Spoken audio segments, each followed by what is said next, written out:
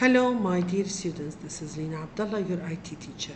Welcome you in our weekly video where I'm going to introduce week 4, which will be from September 24th to September 27, 28. We're not sure yet because we have a holiday this week.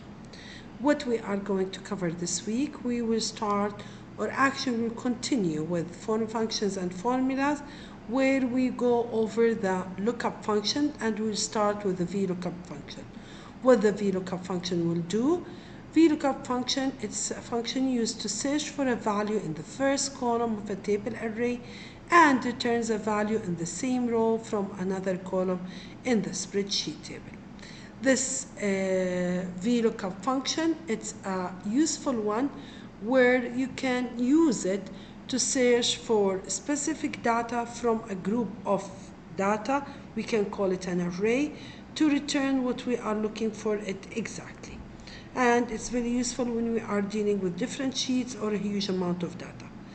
In this lesson, we are going to uh, recognize the lookup function and apply the VLOOKUP function to search for a value where we have different resources and let's say tutorials will help us to understand more where you have tutorial to show you how to use the VLOOKUP function.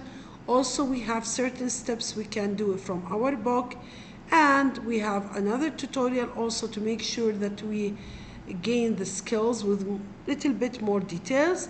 And also we have more activities from our book to do. We have more uh, online activities uh, for further practice and self-assessment to learn more. And of course you have to be able after that to recognize between VLOOKUP and HLOOKUP. In our second lesson we'll continue with the lookup function but we'll start with HLOOKUP function which will help us to search for a value in the top row of a spreadsheet table and return a value in the same column from another row in the spreadsheet table and here as all the lessons we have specific pages you can return for or refer for to go with the topic we are going to cover. Uh, also we have more as all other classes we have our objectives we have more tutorials about it and uh, more practice from our book from online resources from online activities and so on after we finish the two lookup functions or the two types of lookup function, the VLOOKUP and HLOOKUP, we'll start with a new types, uh, type of function which we call database function. With the database function, you will see that the function there depends on criteria. It can be one criteria, it can be more than one criteria with the relation of and or where you can uh, use it, uh, apply the database functions. We will, uh, this week we'll cover two database functions.